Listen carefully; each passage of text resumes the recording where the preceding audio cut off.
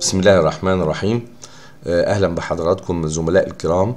آه، في آه، خطوات إعداد ملف الجودة. أنا شرحته قبل كده باختصار. النهارده هشرحه بالتفصيل شوية وفي النهاية هنتعرف على طرق التسليم اللي هنستلم بيها الملفات. كان عندنا الأسبوعين بتوع نص السنة والأسبوع الأولاني من الدراسة فكان في فترة ثلاث أسابيع وهنستلم الأسبوع القادم في المواعيد اللي هنحددها إن شاء الله. ملف الجودة وهبعت لحضراتكم الملف اللي قدام ال- الفولدر اللي هو المجلد اللي قدام حضراتكم ده أنا هبعته لحضراتكم على الجروب بس بصورة مضغوطة يعني. يعني هيبقى بالشكل ده كده. أنا أهو هضغطه بالشكل ده أهو فهيوصل لكم بالشكل ده. عشان نيجي نفكه مجرد إن بالضغطة بالزرار اليمين وبروح لأي برنامج من اللي عند حضراتكم. طبعا دي مهارات كمبيوتر أساسية مش المفروض إن أشرحها يعني وبنفك الضغط عشان يرجع تاني للشكل بتاعه اللي موجود فوق ده هنا. المجلد ده بما مكتوب هيوصل لكم زي ما هو يعني اللي أنا هشرح عليه ده اللي هيوصل لحضراتكم. طبعا هتتغير الأسماء. يعني أنا هنا كاتب جودة طحالب فحضرتك هتغير كلمة طحالب بالاسم المقرر بتاع حضرتك. بنضغط على المجلد ده بنلاقي دي المحتويات بتاعته اللي إحنا شرحناها قبل كده واللي أنا بعتها انفوجرافيك وفيديو صغير. فده عبارة عن آه، تسع مجلدات وفي المحتوى في الآخر. المحتوى هبدأ بيه المحتوى ده ملف Word لو أنا فتحته بالشكل ده كده أهو بالمنظر ده بيبقى مكتوب فوق أنا أنا مجهزه لحضرتك. يعني في حاجات المفروض عضو ايديس بيعملها أنا سهلت على حضرتك. العام الدراسي 41 الفصل الدراسي أنا كتبته فوق غيرته فوق كل ده أنا عملته. اسم حضرتك طبعا هيتغير هنا بالتأكيد. هتحط اسم حضرتك وهتحط اسم المادة اللي خاصه بحضرتك يعني. هنا اللي على اليمين ده ده محتويات ملف الجودة اللي هي الأسطوانة. كل حاجة موجودة على الأسطوانة مكتوبة هنا بالعربي وباللغة الإنجليزية. هنا بقى اللي حضرتك في إيه صح أو خطأ لو حاجة مش موجودة. طبعا كل الحاجات هتبقى صح لأن لازم تكون موجودة ما عدا الجزء اللي هو الأيتم رقم خمسة اللي هو الجزء ده اللي أنا حددته ده. ده مش شرط تكون كل حاجة فيه موجودة آه، في الأسطوانة. ليه؟ لأن أعمال الاختبارات رقم خمسة فقط رقم خمسة بالشكل ده كده اللي أنا محدد عليها أهو بالشكل ده. رقم خمسة. ليه؟ لأن لو كبرت الشاشة شوية كده دي العبارة عن آه، في حاجات لازم هتكون فيها صح. يعني عينة مصححة من الاختبارات والواجبات لازم تكون صح. ما ينفعش حد ما يكونش عملها. نماذج من إجابة الطالبات لأعمال السنة نموذج إلى آخره إلى آخر هذه اللي ممكن يكون فيه صح وغلط بقى من أول هنا اللي هي نماذج من أعمال الطالبات إذا كان حد ما كلفش الطالبات بأعمال أو نماذج من أعمال الطالبات إذا كان حد ما كلفش الطالبات بأعمال. أو المشاركة في القاعة الدراسية ما كانش حاطط عليها درجات. الواجبات المنزلية العروض التوضيحية بحوث ميدانية استخدامات طلبات إمكانيات الحاسب. طبعا ده بحسب المادة. الاختبارات اللحظية اللي هي الكويزس المفاجأة دراسة الحالة فرق العمل. يبقى من أول الواجبات المدرسية أو مشاركة القاعة ده كله أهو اللي هو الجزء بقى اللي ممكن يبقى فيه الكلام اللي مختلفين عليه اللي هو الجزء ده اللي ممكن يكون فيه صح وممكن يكون فيه غلط هعمله بلون تاني. يبقى كل الاستمارة المفروض تبقى صح ما ينفعش ما تكونش في حاجة مش موجودة فيها. أنا ده كمان كان لازم يتعلم عليه اللي هي الخانة دي. يبقى حضرتك أعمال الطالبات أو المشاركة في الدراسة أو الواجبات المنزلية أو البحوث الميدانية إلى آخره دي بعضهم حسب. مش شرط يكون واحد عمل كل حاجة ممكن يبقى في عمل بعض الحاجات آه وحاجات لأ بحسب المقرر بتاعه. طيب في نهاية هذه الأسطوانة بيكون في توقيع العضو بالشكل ده موجود هنا. خلاص طبعا حضرتك أنا هشيل التوقيع بتاعي حضرتك هتحط التوقيع بتاعك. يعني كل ما كان فيه التوقيع بتاعي أنا هشيله فبديه لحضرتك من غير التوقيع حضرتك بتحط التوقيع بتاع حضرتك. طبعا الاستمارة دي تبقى موجودة على الأسطوانة وفي نفس الوقت هتطبع عشان حضرتك وأنت بتسلمني هتسلمني الأسطوانة وهتسلمني الاستمارة دي موقع عليها من حضرتك توقيع حي يبقى أنت حضرتك المسؤول عن كل الصح والغلط اللي موجود. يبقى الأسطوانة كلها المفترض المفترض الوضع المثالي إن كلها صح. هنا بقى اللي فيه الاختلاف. طب لأي سبب من الأسباب؟ حضرتك في حاجة ما عملتهاش ده ما يخصنيش. حضرتك بس ما تحطليش بقى صح يبقى هتحط غلط وهتمضي. وتكتب جنبها هنا في الملاحظات الخانة اللي فيها ملاحظات آه، السبب إن حضرتك ما ما عملتش فيه الحاجة اللي- هو أو الجزء ده ما حطوش على الأسطوانة. فقط لا غير. أدي شغل الجودة. خلاص هناخد واحد واحد. ال- ال- المجلد الأولاني توصيف المقرر ومحتوى المقرر والمراجع. يبقى المفروض هلاقي فيه التوصيف والمحتوى والمراجع. بلاقي فيه زي ما إحنا شايفين خمس مجلدات. واحد واحد لأن ده المجلد رقم واحد من بره. فالجزء ال- الفولدر الداخلي ده اعتماد التوصيف بنفتحه بنلاقي فيه اعتماد التوصيف بتاع المقرر. في هنلاقي فيه أنا حاطط لك ملفين. حضرتك هتعمل فيهم حاجة؟ لا. حضرتك مش هتعمل حاجة غير التغيير اللي أنا هقول عليه.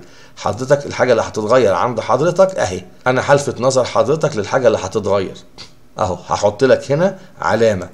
هو اسم المقرر لازم يتغير. حضرتك تحط اسم المقرر بتاع حضرتك فقط لا غير. يعني حضرتك لما هتفتح ده اسم المقرر بس اللي هتحطه. ده اعتماد التوصيف المقرر ده القديم. لأن هو كان أول اعتماد ليه كانت 35 و36 حصل اعتماد جديد اللي هو اللي فات اللي موجود ده. لكن للاحتياط أدينا أهو اسم المقرر. هو اللي هيتغير. فقط لا غير. حضرتك مطلوب منك حاجة تانية هنا؟ لا. يبقى ده أول حاجة إحنا كده خلصناها. ده الاعتماد. والاثنين دول ملفين ووردز. نموذج توصيف المقرر ده بيكون باللغة الإنجليزية طبعا وبعض المقررات باللغة العربية مسموح لها زي العربي والشريعة تقريبا أهو. حضرتك هتعمل فيه حاجة؟ لا ده ثابت. في حاجة هتتغير؟ لا ما فيش حاجة هتتغير. بس أنا حبيت أفتح عشان حضرتك تشوف الشكل بتاعه. اتاكد إن اسم مقرر حضرتك الموجود مش مقرري أنا. يعني أنا لو قفلت كده ده حضرتك هتقوم جاي حذفه وتحط مكانه التوصيف بتاع حضرتك لأن ده المقرر بتاعي ده توصيف المادة اللي أنا بدرسها. فحضرتك بتحذف الملف ده وتحط الملف بتاع حضرتك. دي نمرة واحد. نمرة اتنين. نمرة تلاتة اعتماد المجلس. يبقى اذا الاعتماد التوصيف في رقم واحد. زي ما هو مش هيتحذف هتغير اسم المادة بتاعت حضرتك وتحطها مكاني. اتنين ده مش هتعمل فيه حاجة. ده أنت هتحذف الملف كله بالكامل وتحط الملف بتاع حضرتك. رقم تلاتة ده المجلس بتاع الاعتماد مجلس قديم ومجلس جديد. حضرتك مطلوب منك حاجة هنا؟ لا خالص. طبعا هنا باين عندي لون أزرق اللي بفتح بيه ده البرنامج اللي أنا بفتح بيه. ممكن يبقى شكله مختلف عند حضرتك لانك مش محتاج من حضرتك حاجة. أهو ده المجلس القديم وفي المجلس الجديد. يبقى اذا رقم ثلاثة حضرتك ما تعملش فيه حاجة خالص. يبقى رقم ثلاثة أكن ما تبصش فيها مش محتاج. التوصيف المختصر ده هتبص فيه لأن هنا هتغير اسم المقرر بتاع حضرتك في عنوان الملف ده هتحط الملف بتاع حضرتك مش هتغير الاسم بس لا ده أنت أهو بالشكل ده. ده التوصيف المختصر اللي هو توزيع المقرر على الأسابيع والدرجات إلى آخر هذه الأمور. يبقى حضرتك هتعمل إيه هنا؟ حضرتك هتشيل ده الملف ده وتحط الملف بتاع نموذج توزيع التوصيف المختصر. لو ما عندكش النموذج يبقى هتستخدم النموذج بتاعي ده. هتشيل التوزيع بتاعي الحاجات اللي أنا ماليها وتحط الحاجات اللي تخص حضرتك. وأخيرا المراجع. أهو أنا برضه مسهل على حضرتك. أهو هنا اللي هيتغير لو حضرتك هتستخدم الورقة بتاعتي دي يبقى حضرتك هتغير الصف اللي فوق ده. هتغير مقرر طحالب باسم مقرر حضرتك ورمزه والمستوى اللي انت بتدرس فيه اللي هو المستوى الثالث أو كذا. خلاص والفصل الدراسي زي ما هو. وطبعا هيتشال اسم التوقيع. ده هيتشال. بيبقى عامل زي صورة بالشكل ده كده. أهو. فأنا بشيل التوقيعات بتاعتي. خلاص؟ حضرتك هتحط التوقيع بتاعك. وطبعا دي عبارة عن صورة اللي هي صورها وحطها أو اكتبها زي ما حضرتك عايز. دي حاجة ترجع لحضرتك بقى. يبقى كده الخمس مجلدات اللي تحت الأولاني خالص. نيجي رقم اتنين بنفتحها بالشكل كده بنلاقي حاجة اسمها مصفوفة الأهداف. الأهداف اللي هي إيه؟ اهداف المقرر. أنا حاطط لحضرتك كل حاجة. إيه اللي هيتغير؟ هيتغير لحضرتك المصفوفة دي هتتغير. تحط المصفوفة اللي تخص حضرتك. اسم المقرر ده هيتغير اللي هو الحاجة اللي تخص حضرتك. أهو. اسمي هتحط اسم حضرتك والتوقيع توقيع حضرتك. وطبعا ده كله هيتغير اللي هو الكتابة دي. طبعا المفروض حضرتك إنك عاملها يعني. خلاص؟ فدي المصفوفة بالشكل ده كده المفروض هتحط اللي تخص حضرتك. طيب نقفل ده كده بالشكل ده. ادي كده رقم اثنين رقم ثلاثة بيان معتمد. المجلس القسم للمصفوفة. أهو بالشكل ده. ده حضرتك بقى هتستخدم النموذج ده. أمال هتغير فيه إيه ولا حاجة؟ هتغير اسم المقرر. اسم المقرر هيتغير بالشكل ده في الصفحة الأولانية زي ما هو اسم المقرر اللي هيتغير ننزل تحت شوية كده بنلاقي مصفوفة تانية بالمنظر ده كده. اسم حضرتك هيتحط مكان اسمي والتوقيع خلاص واسم المقرر ورمزه. يعني البيانات دي هي اللي هتتغير وهتتحط المصفوفة بتاعت حضرتك. الحاجة الثالثه أدوات قياس المخرجات. طبعا هنا هيتغير إيه؟ هيتغير اسم المقرر وهيتغير المستوى اللي حضرتك درست فيه المقرر. اسم العضو حضرتك هتحط اسم حضرتك التوقيع بتاع حضرتك إلكتروني هيتحط هنا هنروح نمرة أربعة دي مش هنقف بقى فيها كتير نماذج الاختبارات. حضرتك بتكون دخلت بالسكانر الشهري الأول الشهري الثاني العمل التح... عمل المقرر بتاع حضرتك والنظري ادي أربع حاجات يعني أربع اختبارات. شهري أول شهري ثاني طحالب العملي العملي والنظري طب واحد ما عندوش عملي خلاص مش هيبقى موجود. واحد عامل امتحان شهري واحد خلاص هو حر. النماذج بتاعه الحاجة اللي انت حاططها. يبقى الاختبارات ونماذج. يعني عشان حاطط أربعة في أربع نماذج. هتحط ثلاثة في ثلاث نماذج وهكذا. دراسات وأعمال الطالبات. هتلاقي برضو هنا اتنين فولدرين. أعمال الطالبات بقى إذا كان جهد إذا كان كويزات أسئلة سريعة إذا كان أي نشاط بتحطه. والكراسات حضرتك بتبقى حاطط نماذج. مختار في الشهر الأول ثلاث كراسات هتحطهم هنا. ثلاث كراسات الشهر الثاني ثلاث كراسات العملي ثلاث كراسات النظري. طبعا برضو بحسب في عملي عندك مفيش في شهري واحد مفيش اتنين شهري دي حاجة ترجع لحضرتك. آدي الكراسات. استبانة الطلبات الطالبات بتكون بقى إذا كان عندك في عملي نظري مفيش بتبقى استبانة واحدة اللي هي زي كده اللي هي متعارف عليه اللي هي استبانة الطالبات. اللي يهمك فيها إيه؟ ولا حاجة. هتيجي للآخر كده خالص اللي يهم حضرتك فيها المتوسط بتاع حضرتك في الآخر أهو. ده المتوسط بتاعي أنا. التقدير ممتاز والمعدل بتاع حضرتك 99 و65 فاللي يهم حضرتك كلمه الكلمة اللي هنا ممتاز وإن شاء الله كلكم ممتازين والتقدير اللي هنا ده هتحتاجه. ليه هتحتاجه؟ عشان لما هقفل ده كده أهو وهقوم جاي رايح هنا. طبعا الاستبانه دي اللي هي بتاعت كده اللي حضرتك طبعتها اللي هي رئيسة القسم بعت التنبيه وأنا بعت تنبيه إن تطبع اللي هي من تقارير المحاضر أثناء الاختبارات عشان المفروض مش هتلاقيها دلوقتي. تقرير المقرر بتلاقي حضرتك حاطط فيه آه ثلاث فصول بالشكل ده كده. متتالية. آخرهم اللي هو التقرير بتاع المقرر. حضرتك عندك تقرير سابق هتستخدمه. أمال إيه اللي هتغير فيه؟ بص كده معايا حضرتك. إذا كان أنت حاطه في الفصل الأولاني أهي اتأكد إن ده الفصل الأولاني. first semester ال first semester الفصل الأولاني. وطبعا بتحط اسم حضرتك. خلاص؟ وتاكد إن السنة دي اتغيرت. يعني من أول هنا لهنا. دول حضرتك تتأكد إن أنت هتغيرهم. طبعا والمستوى تتأكد منه. فدول هيتغيروا في الصفحة الأولانية هنا. طيب وبعدين غير الصفحة الأولانية حضرتك بترجع هنا كده اللي هيتغير كمان إيه؟ عدد السكاشن والطلبة. هم كام الطلبة اللي كنا في الفرقة بتاعت حضرتك. الف... يبقى دي الحاجة الثانية اللي هتتغير. الحاجة الثالثه اللي هتتغير هتنزل تحت اللي هو الجدول ده. اللي هو الجدول ده. الأعداد دي بالنسب بتاعتها. اللي هي حضرتك سلمتها مع. اللي في مع التصحيح. اللي هي النسبة اللي حضرتك عملتها دي المفروض حضرتك انت عاملينها كلكم. فهتتحط في الجدول هنا. يبقى أول صفحة كانت في العنوان خالص أهي. بتتأكد حضرتك من البيانات دي. حضرتك بتتأكد بعد كده من أعداد الطلبة. خلاص اللي كامل المقرر وخلافه. وبتحط النسبة بتاعت حضرتك. فقط لا غير فقط لا غير. خلاص؟ طبعا حضرتك عايز تعمل تعديل بقى دي حاجة تخصك. المهم ثلاث مستويات اللي هيبقى فيه التغيير اللي هو الحديث اللي هو ده. بعد كده بيان المجلس لتوصيات التحسين. في حاجة اسمها تقرير اللجنة الطلابية ده اللي أنا بعته لحضراتكم. ها؟ هبعته لحضراتكم. هبعته لحضراتكم. اللي هو رأي الطلاب في كل في المقررات بتاعة حضراتكم. خلاص؟ في المقرر مش في حضرتك. طبعا. فاللي هو إذا كان في مشكلة يعني هنا مثلا في إيجابيات وفي سلبيات. لو في سلبيات يبقى حضرتك بترد عليها في توصيات التحسين. بس فده هيتبعت لحضراتكم. تقرير حول توصيات التحسين. أهو. برضه هنا دي زي ما هي كده. إيه اللي هيتغير؟ اسم المقرر. حضرتك بتأكد إن هو اسم المقرر بتاع حضرتك. أهو. مش حاجة تانية هتتغير فيه؟ لا مفيش حاجة تخصها هنا هيتغير برضو إيه؟ اسم المقرر. أهو ورمزه بالشكل ده خلاص؟ وده كله خلاص جاهز.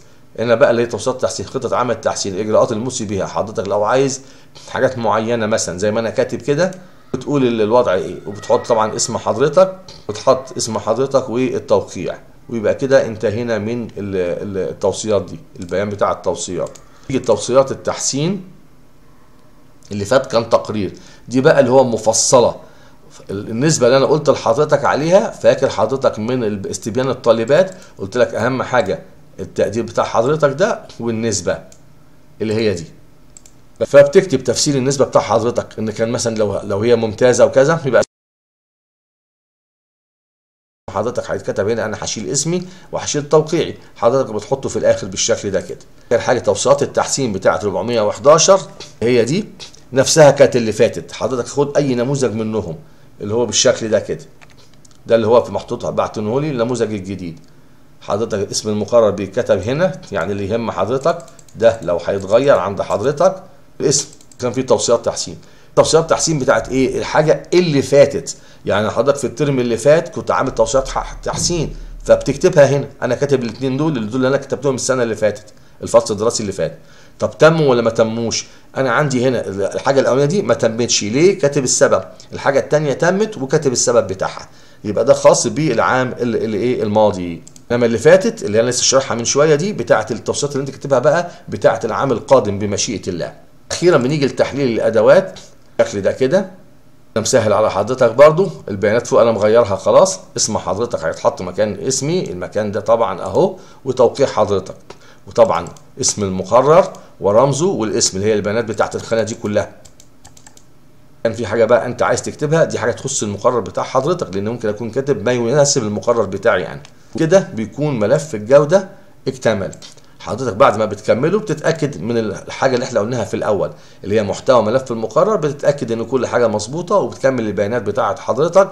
يبقى كده حضرتك استكملت ملف الجودة بمشيئة الله. حضرتك بتطلع بره كده بتاخد تحط اسطوانة وتنسخ لي منها هذا وتحط عليها هذا المجلد. اسطوانة بيتكتب عليها إيه؟ ثلاث حاجات. بيتكتب عليها جودة جودة 411 أهو الفصل الدراسي الماضي أحياء. تحتها حضرتك بتكتب اسم المقرر ورمزه تحتها اسم حضرتك المكرم يعني. دي الاسطوانة. وبتتحط في الغلاف بتاعها بعد إذن حضرتك. حد يقول لي ما عنديش غلاف هقول له حطها في مظروف. ما عنديش مظروف حضرتك حط ورقة A4 طبقها نصين وبعدين أربع تربع هتبقى عاملة زي الجراب. وحط لي فيها الاسطوانة. إضافة إن حضرتك الورقة دي هتطبع الأخيرة دي اللي هي محتويات الملف هتطبع عشان تبقى مرفقة بالاسطوانة لأن حضرتك هتبقى عامل صح أو غلط تبقى أنت مسؤول عن اللي موجود في الاسطوانة وبتوقع لي تحت. مواعيد التسليم. هبعتها لحضراتكم على الجروب بالإضافة إلى رأي الطلاب في مقرر في كل في مقرر من مقررات حضراتكم مش في حضراتكم في المقررات بتاعه حضراتكم. الورق ده أنا هدخله على السكانر حالا وهبعته على الجروب لكل على الخاص طبعا.